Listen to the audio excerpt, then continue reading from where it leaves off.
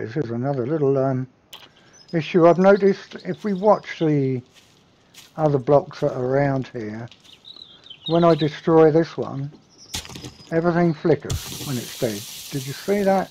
That's quite, that was quite quickly. Keep an eye on the bricks here when I destroy this. Where? There you go. Did you see that?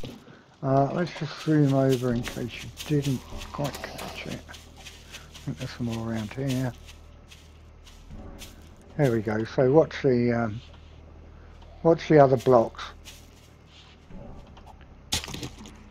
See that? As it's destroyed, the whole lot flickers. And again, might see it better here next to each other. There you go.